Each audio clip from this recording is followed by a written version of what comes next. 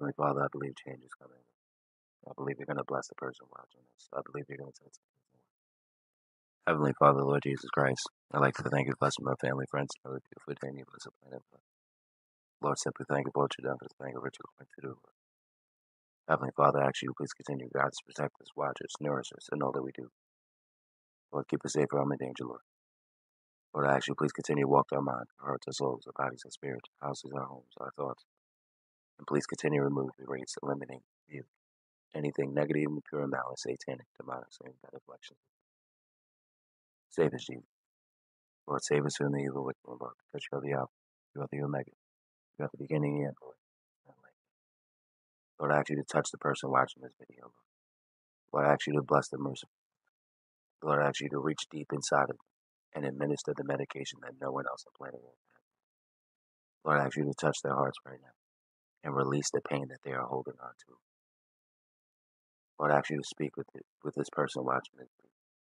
Let them know that they have been blessed with another day, another chance to get it right, another day to seek you, seek your presence, seek your face. Because if we want to see you, we must seek your word. Lord, I ask you to touch our hearts and touch our minds. Lord, help to eliminate, erase, rebuke, defeat the emotions and feelings and thoughts that the enemy tries to make us think and feel, Lord. Lord, allow us to know that is not the way you want us to Lord. For you have plans to prosper us, bless us, and not hurt us. Lord, for all things work in your good. They all work for the glory and goodness of God, even the bad things even the confusing things, even the, the things we don't understand. Because you do not make mistakes, Lord. You will not be mocked. Lord, I ask you to touch our hearts right now. Touch the person going through this, Lord. Touch their father, touch their mother, touch their sister, their brother, their friend, Lord. Lord, I ask you to help anyone who's battling or fighting addiction, Lord. That you be their safe place, their stronghold they can go to to release. Lord, I ask the person that's struggling with porn addiction, sex addictions, adultery, that they cast away those sins and come closer and near to you. Lord, I ask you to help us to kill our flesh, Lord. Kill the thoughts in our mind, Lord, and touch us. Touch us wherever you see fit, Lord. Speak with us wherever you see fit, Lord. Do a new thing, Lord, and have your divine. Do a new thing, Lord. Bless us in every way you see fit, Lord.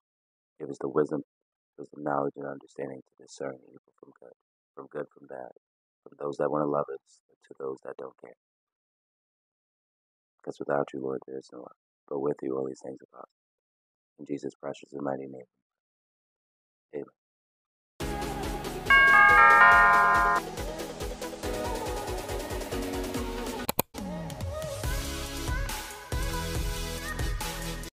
All right, ladies and gentlemen, that was a good prayer. I hope you guys like that.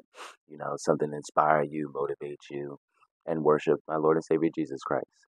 Prayer is a very good thing. Prayer is our connection and communication with God.